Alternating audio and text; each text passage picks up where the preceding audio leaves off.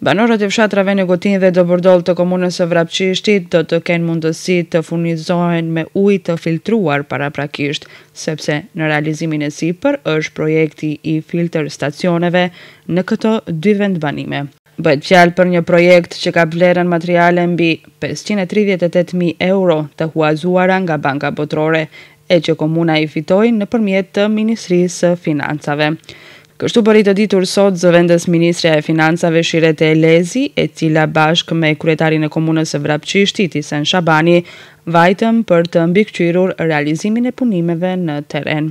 Ajo sqaroi se për shkak të realizimit të suksesshëm të këtij projekti, Komunës së Vrapçishtit do t'i ndahet një grant në vlerë prej nëntë milionë denarësh, të cilat do t'i shfrytëzojë për rregullimin e një rruge lokale në Gradec. Sot jemi në vizitë në komunën e Vrapçishtit për të parë domethënë realizimin e punimeve në dy vendbanime të rëndësishme, në fshatin Negotin dhe në fshatin Dobërdollë për ndërtimin e filterstacioneve, të cilat realizohen domethënë në territorin e këtyre dy fshatrave. Është një projekt që financohet nga Ministria e Financave, gjithsesi përmes huazimit që kemi nga Banka Botërore dhe nënhuazim që jepet komunave të vendit. Turbinat do duhet të vendosen gjatë muajit të ardhshëm dhe besojmë që projekti me sukses do të përfundojë në vjeshtën e këtij vitit. Komuna e Vrapçishtit, e cila arriti po ashtu me realizimin e suksesshëm të këtij projekti, do të ketë edhe grant për shfrytëzimin e mjeteve në vlerë prej nëntë milionë denarash, me të cilën do të realizojë domethënë edhe një rrugë lokale në fshatin Gradec. Kryetari i Komunës së Vrapçishtit Isen Shabani tha se për kthimin e mjeteve të kësaj kredie, Komuna e Vrapçishtit ka afat për trembëdhjetë vite, me tre vite grace period.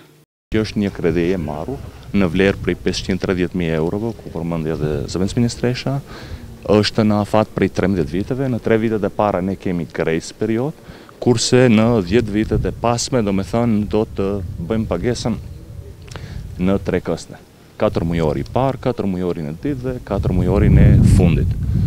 Dhe kemi edhe projekte të cilat i përmendi edhe ministresha, të cilat janë nga IPARD programat vitin 2017, 2021, ku mbikëqyrës i atyre mjeteve është Qeveria e Republikës së Maqedonisë së Veriut.